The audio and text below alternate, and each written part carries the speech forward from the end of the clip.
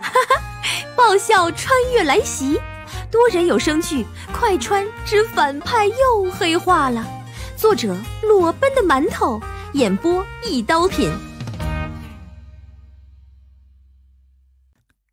第五百四十四集，谢良成推开半掩的门走了进去。大太太见他来了，连忙冲他招手：“来来来，小成快来！我刚才啊，正和你祖母商量你干妹妹的婚事呢。你那儿有没有什么合适的人选？我瞧着那罗副官还不错，这小伙子长得挺帅气的。或者你手下别的副官也行，模样我也见过，长得都还不错。啊哦，对了，做文职工作的下属也可以。”人比较斯文，但一定要踏实能干的，不能来咱们谢家吃白饭。谢良成还没有开口，大太太便已经絮絮叨叨的说了一大堆。谢良成的那张脸已经臭得不能看了。对于许多余要嫁人这件事，谢良成心里莫名的不爽。他觉得不久前这个女人还让他对强吻一事负责，这才多会儿啊，他就将这事儿抛到脑后了。还有，这年头哪有十六七岁就结婚生子的？太早了，自己还都是个孩子呢。南浔瞄了一眼谢良成，有些害羞的打断大太太：“干娘，还是不要找军官了吧，家里有一个哥哥这样的就够了。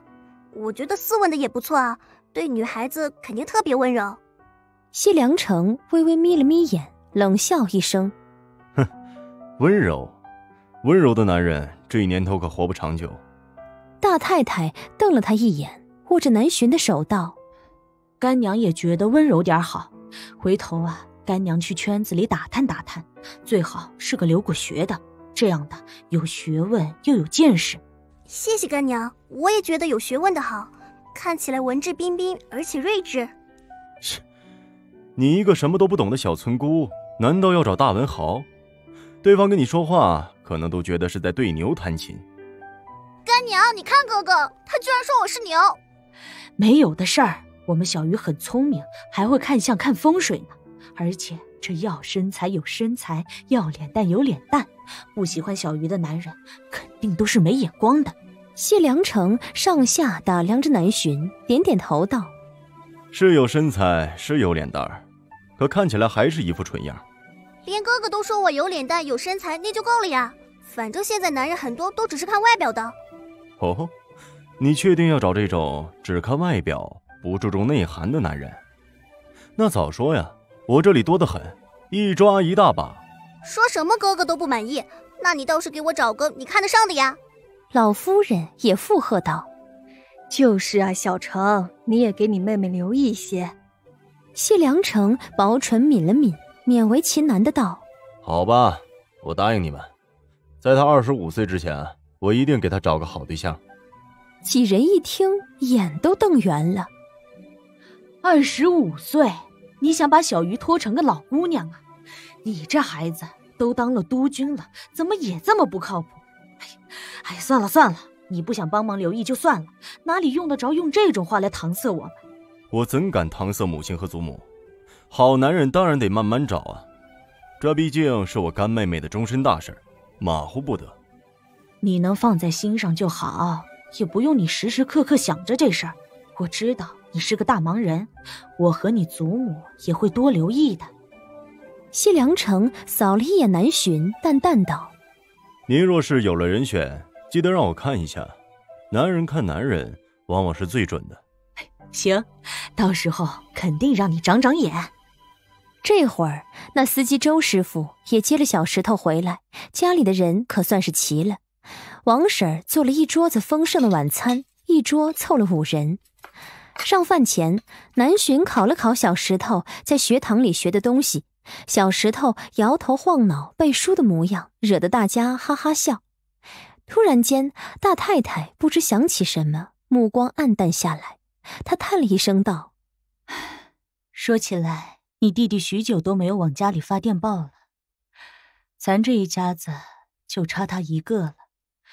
你父亲死的时候，国外也发生了动乱，那边不放行，他都没能见你父亲最后一面。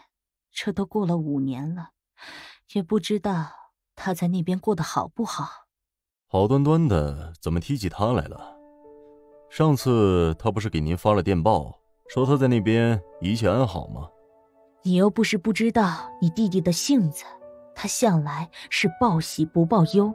他说在那边过得好，你就真信了？母亲真的了解你这个小儿子吗？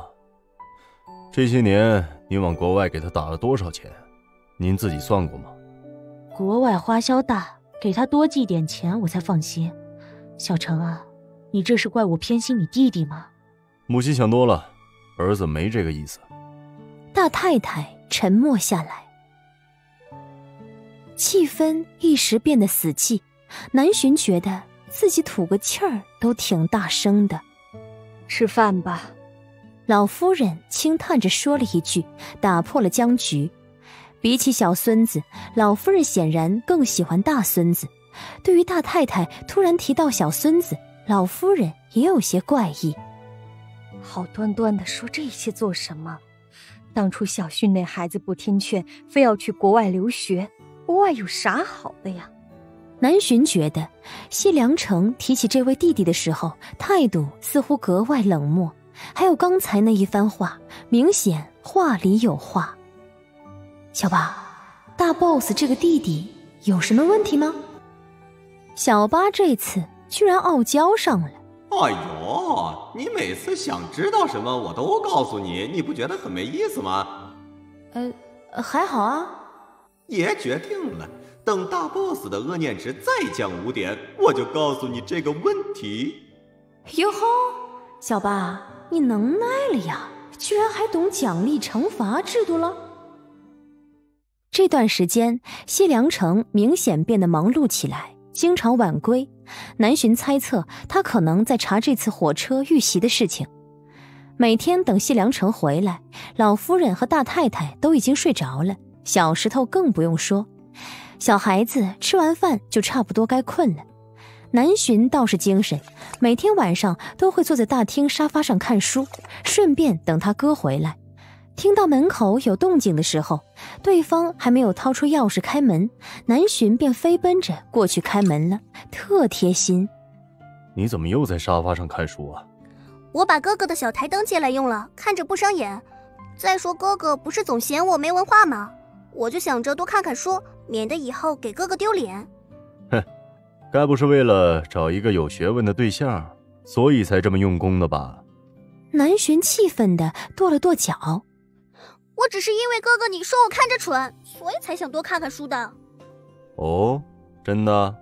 谢良成剑眉微微一挑。拜，本集结束了，喜欢听的话要订阅哟，哦，还要分享哦，下期见，么。